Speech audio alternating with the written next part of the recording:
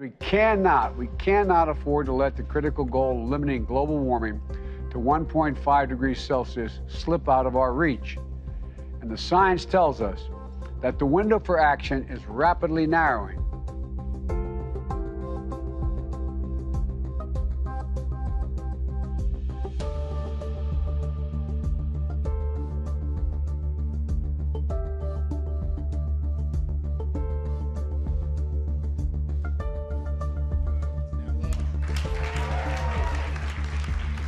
Inflation Reduction Act invests $369 billion to take the most aggressive action ever, ever, ever, ever in confronting the climate crisis.